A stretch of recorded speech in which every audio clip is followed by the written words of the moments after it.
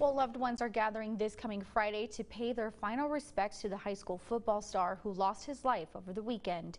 We've seen an entire community come together for 17-year-old Abraham Romero, who collapsed during an Organ Mountain football game in late August. The Las Cruces City Council also declaring September 22nd as Abe Romero Day. Now, a public viewing will be held this Friday from 2 p.m. to 7 p.m. at Bacas Funeral Chapels. Funeral services are taking place the following day beginning at 11 a.m. and he will be laid to rest at St. Joseph Cemetery.